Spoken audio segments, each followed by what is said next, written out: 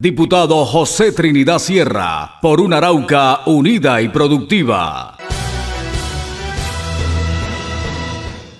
Y el gerente de EMSERPA, Leonardo Atalla, luego de quedar en libertad, narró cómo fueron sus meses de cautiverio por parte del ELN.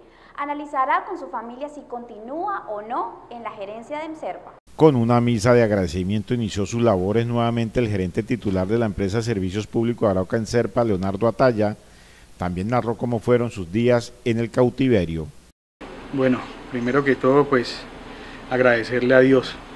Él fue mi compañía, Él fue mi protección en estos casi ocho meses que estuve secuestrado. Eh, fue mi psiquiatra de cabecera, fueron unos tiempos difíciles, duros psicológicamente. Según Leonardo Atalla, los días que estuvo secuestrado por las guerrillas del ELN fueron días contra su futuro.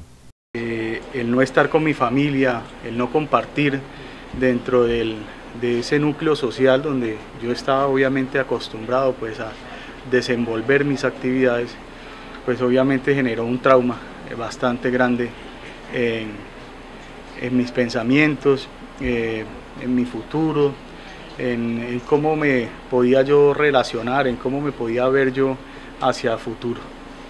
Eh, fueron unos días que yo digo que fueron kamikazes contra, contra mi futuro, fueron unos días en que yo pensaba mucho en mis hijos, fueron unos días en que mi esposa eh, era mi gran falta.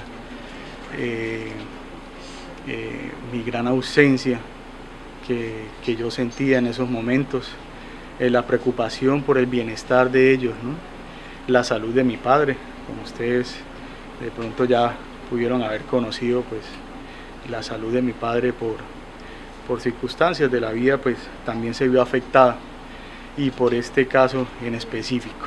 Durante los meses que tuvo en cautiverio, fueron días de oraciones, fueron muchos meses de oración, muchos meses de agradecimiento, tenía acceso a un radio dentro del cual pues accedía a los medios de comunicación y sus noticias de Arauca. Eh, pues obviamente anhelaba volver a mi vida, anhelaba volver a ver a mi familia, a mis hijos, a mi padre y poder estar eh, desenvolviéndome libremente con libertad plena en la sociedad.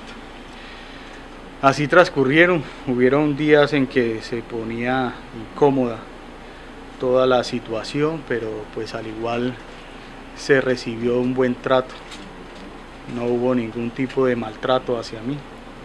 Y pues obviamente eh, pues conforme o, unido con, pues, con una alimentación pues pude aguantar todo este tiempo de soledad, de angustia, de desespero.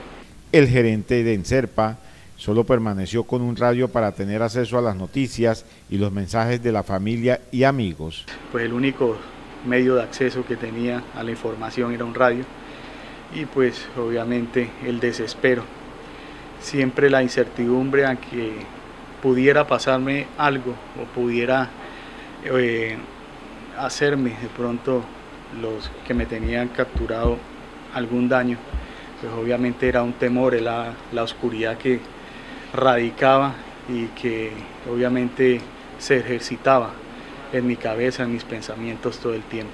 Por último, le agradeció a Dios por encontrarse nuevamente en libertad.